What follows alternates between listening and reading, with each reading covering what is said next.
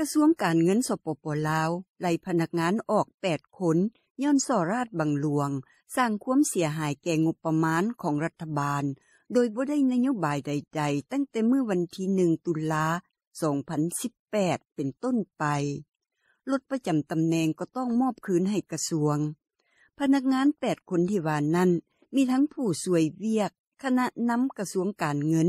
หัวหน้าสถาบันเศรษฐกิจการเงิน แผนกกรมคุ้มครองวิสาหกิจ รัฐลงทุนและประกันภัยร่วมอยู่ด้วย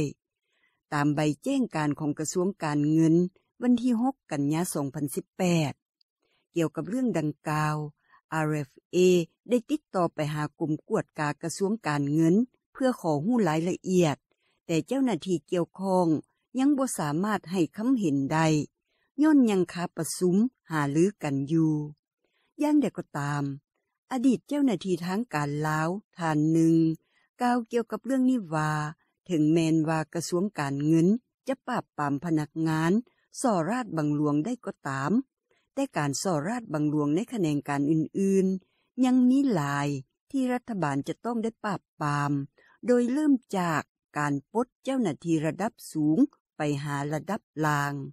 อันความจริงหนะเรื่องสลาดบังหลวง โดยเฉพาะอยู่ลาวพวกเฮานี่มันก็ทุกยอมยาเนาะมันบ่แม่นเป็นเงินตัวนี้มันปราบยากมันอยู่ลาวคือเปรียบเสมือนสุปฏิคือไก่เห็นตีนงูงูเห็นนมไก่อย่างประมาณนี้ ต้องผู้ที่มีคานสูงมาปลดตัวเองก็จังไปปลดคันต่ำ พวกเพิ่นก็ต้องเห็นแก่ประโยชน์บ้านเมือง เมื่อปี 2017 องค์การกวดกาแห่งรัฐ เปิดเผยว่ารัฐบาลกวดพบเงินเสียหายจากการสอราชบังหลวงจำนวน 404.33 ตื้อกีบ ในนั้นสามารถกู้คืนได้แล้ว317ตื้อปลายกีบ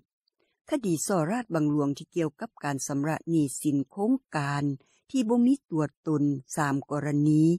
และจ่ายเงินซ้ำซ้อนอยู่12 กระทรวง